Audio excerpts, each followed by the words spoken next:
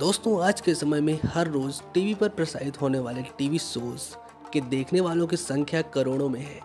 In serial में जान डालने वाली इन सीरियलों के किरदार भी आज खूब पॉपुलर हैं।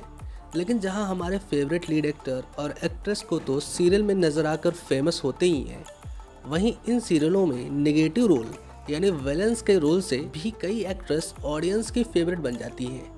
जिसकी वजह है उन एक्ट्रेस की ज़बरदस्त नेगेटिव रोल वाली एक्टिंग तो वैसे तो सारी ही विलन्स अपनी जगह पर बेस्ट है, लेकिन इन सब में कौन है नेगेटिव रोल में बेस्ट चलिए जानते हैं। नंबर सिक्स करिश्मा सावंत ये रिश्ता क्या कहलाता है में, आरोही ने अक्षु की बहन के रोल में खूब साजिशें चली, और इस रोल को निभाने वाली 25 साल की अभिनेत्री, करिश्मा, भी आज इस सीरियल से जानी जाती है।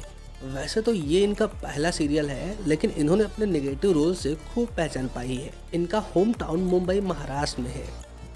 नंबर फाइव श्वेता तिवारी, बालवीर की भस्मा परी। का नाम सुनते ही सबके दिमाग में एक ही तस्वीर आती है, जो है श्वेता तिवारी के भस्मा परी वाले की, जिससे इन्होंने एक बुरी परी के रूप में बालवीर को खूब सताया। श्वेता तिवारी आज 42 साल की हो चुकी हैं और ये आज सोशल मीडिया पर भी खूब पॉपुलर है और इनके इंस्टाग्राम पर लगभग पाँच मिलियन फॉलोअर्स हैं।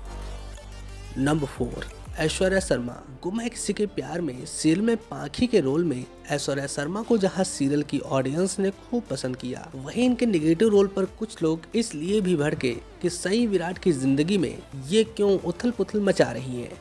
वैसे कुछ भी हो, लेकिन ऐश्वर्या शर्मा ने अपने नेगेटिव किरदार को भी निभाने में कोई कसर नहीं छोड़ी। ऐश्वर्या शर्मा ने अब तो सीरियल छोड़ दिया है और खतरों के खिलाड़ी में नए सीज़न में आ रही है।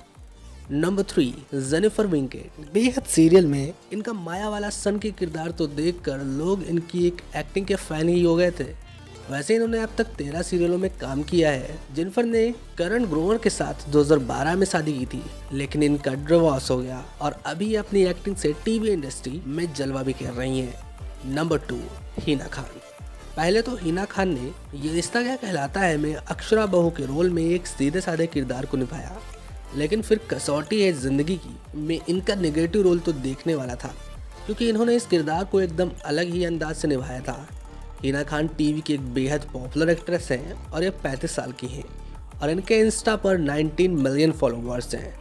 Number one Ada Khan. इस लिस्ट में नंबर वन पर हैं अदा खान, क्योंकि इनका शेषा का विलन रोल आज भी सबको याद है। इन्होंने अब तक नागिन के सारे सीज़न में अपने अलग लुक्स में अपना निगेटिव रोल निभाया है। और अभी शायद नागिन सेवन में भी नज़र आने वाली है। अदा खान का सबसे फ़ेमस किरदार नागिन वन में शेषा का रहा है। सो गाइस इनमें से आपकी बेस्ट निगेटिव एक्ट्रेस कौन सी है? नीचे कमेंट में बताएँ। अगर हमारे वीडियोस थोड़े से भी पसंद आ रहे हो आपको तो वीडियो को लाइक कर कर चैनल को सब्सक्राइब करें। Thanks for watching